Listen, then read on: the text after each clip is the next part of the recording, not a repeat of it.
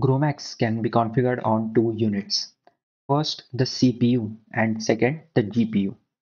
When primarily installed, GROMACS is by default set to work on CPU cores. With CPU cores, I mean GROMACS works by accessing the random access memory, which we commonly known as RAM. As compared to CPU, GROMACS run much faster on GPU. For instance, recently I ran 100 nanosecond MD simulation on CPU, which took me 5 days to finish, giving me the speed of approximately 20 nanoseconds per day. When the simulation is allowed to run on the GPU, it took approximately 36 hours to finish, with the speed of 72 nanoseconds per day. The GPU provided 4 times more speed as compared to the CPU. Therefore, it is beneficial to configure GROMACS to utilize GPU rather than CPU to save computational resource and time while gaining speed. In order to run GROMACS on GPU, it is necessary to fulfill the following conditions. The first condition is the availability of the Linux operating system and the second condition is the availability of the graphic card as hardware in your PC. Although having Linux as the operating system is important, but if you are using Windows operating system, you can still able to follow this tutorial. But by setting up Linux shell in Windows using WSL, I guarantee that it will work exactly the same as it works in the Linux environment. But if the graphic card is not available in your PC, you cannot follow along this installation guide and you have to limit yourself to run GROMACS on RAM or CPU. It is mandatory for you to set up the graphic card of NVIDIA or AMD or any other graphic card for that matter to configure and run simulation on GPU using GROMACS.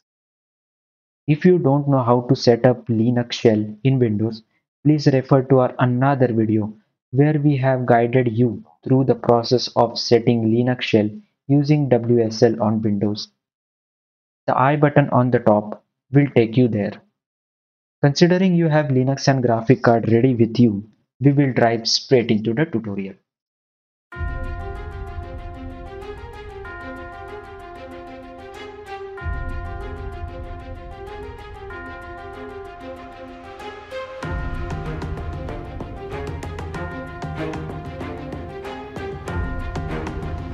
First thing we will uh, do is that uh, we will check for our drivers that are set for our graphic card or not. I will show you three ways with which you can check this and if your drivers are not properly configured with your graphic card then you can check my description box of this video there you can find a complete procedure for setting up the drivers for your graphic card but before that we will check whether our drivers are set up or not for this, the first method is using this command nvidia dash smi.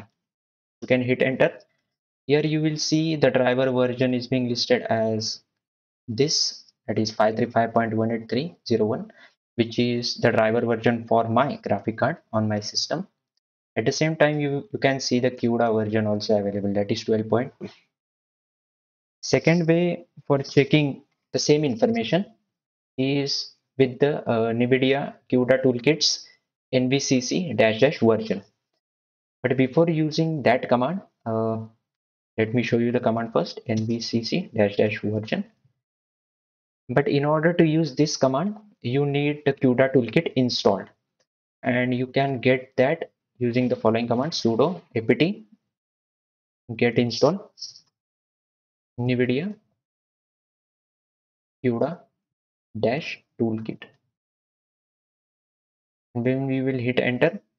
Uh, it will get downloaded.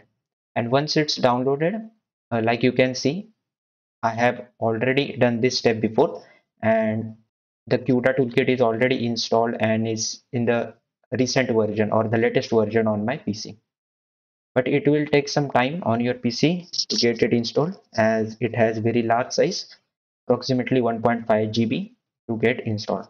And after its installation uh, we will type the following command as nvcc version uh, to check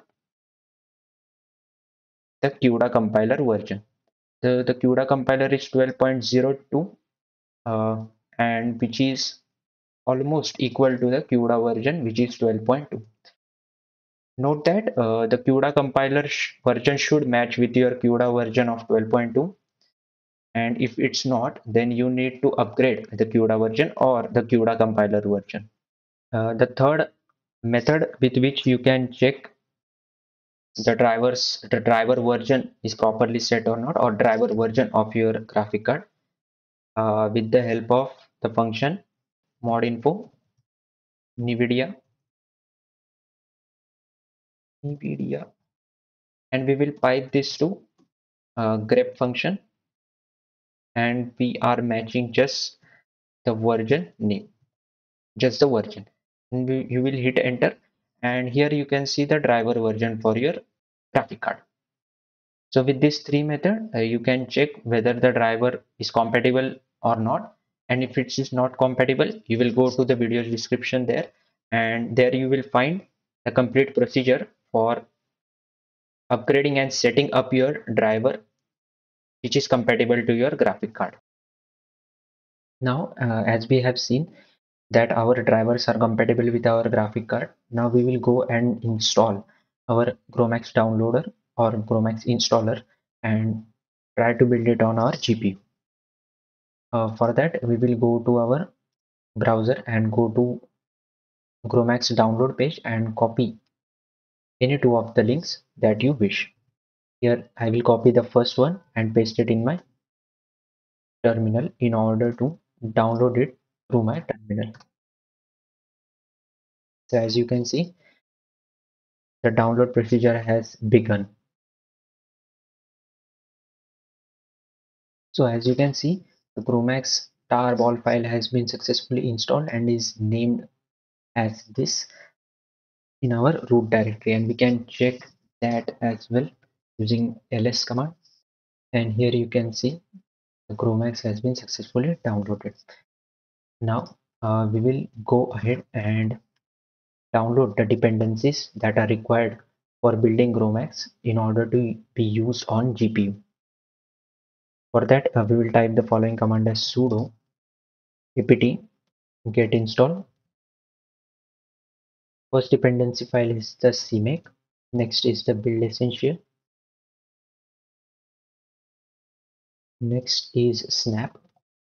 Next is Uh, c compiler which is of version 11 next is the c++ compiler of version 11 and lastly the lib openmpi library.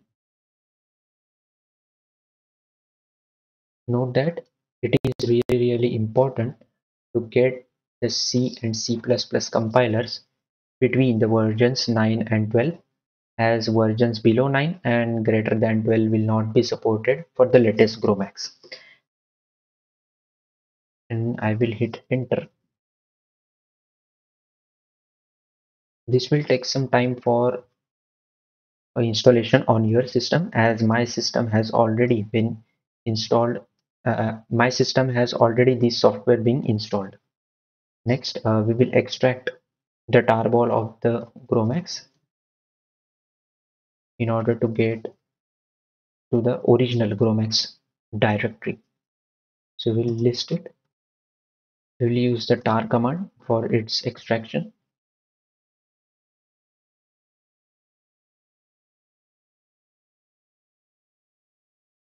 And here you can see the extraction procedure has done and we will list it using ls command. So here you can see the GROMACS directory has been prepared. We will go to our root directory and delete the tarball file to save some space. Now uh, we will enter the GROMACS folder and make a new directory inside it named as build and we can check if the build directory is made or not. So yes the build directory is made. We will enter the build directory using cd command. And now we will write the following code sudo cmake dot dot dash d gmx gpu equal sorry gmx underscore gpu equal CUDA. This command right here, just I have mentioned it. Uh, here, uh, this command configures the GPU as CUDA and tells the GROMACS that is the CUDA configured GPU. Now uh, we need to specify the C compiler as well as C++ compiler that should be used by the GROMACS in order to build its uh, CMake files. So d CMake underscore C underscore compiler equal and GCC at 2 of version 11 is important to mention. Next, uh, I will write the remaining code on the next line and here we are specifying the C++ compiler dcmake cxx underscore compiler equal g plus dash 11 uh, next we are specifying the build protocol that should utilized by GROMACS in order to build on GPU therefore gmx underscore build underscore on equal on next uh, we are providing the CUDA toolkit path for the GROMACS with the help of dcuda toolkit underscore root underscore dir equal and provide the path as the user local comma CUDA and hit enter. So here you can see GROMACS has started to build on GPU. So it will take some time uh, for it to complete. So as you can see the configuration is done now. Now uh, next step is to compile all the C files uh, using the following command like sudo make dash j nproc. Here, here we are uh, compiling all the C++ and C files uh, which are the basic GROMACS files written in the C and C language, C and C++ language and we are compiling it with the make function. And we are speeding up this task by distributing the job on all the available CPU cores uh, in my PC and we will hit enter. So it will take approximately 45 minutes as it has taken 45 minutes on my system which uses 16 GB of RAM and 2.5 gigahertz of processor speed. But it will take more time if your PC works on 8 GB of RAM with approximately equivalent processor speed. So as you can see our compilation has been successfully been completed and we will install these compiled codes into our system with the help of following function. sudo make install. So it has started installing the code and it has successfully installed now uh, we can check whether our simulation runs on the GPU or not here I will run an equilibration step and see whether it runs on the GPU or not. So here you can see one GPU has been selected for this run and if we check the GPU usage uh, using the function NVIDIA-SMI we can see that the GPU is being utilized. NVIDIA SMI so here you can see the GPU has started being utilized, started to being utilized. It reaches up to 99%, uh, which is its total strength or the highest strength or the highest speed the GPU can reach up as the simulation progresses. So as you can see, 81% speed has been gained by the GPU it will soon reach 99% as the simulation progresses. So here you can see that the MD simulation or the 50,000 step equilibration step has been completed and the speed was approximately 50 nanoseconds per day uh, which is sort of less but when you will run the md simulation of longer periods then it will reach a maximum up to 80 nanoseconds per day uh, when you run the simulation on the NVIDIA GeForce GTX like on my system. I got the maximum speed of 80 nanoseconds per day. So that's it for this tutorial. These were the steps uh, that you should follow in order to configure the CPU uh, uh, configure the GROMACS to run on the GPU so thank you for watching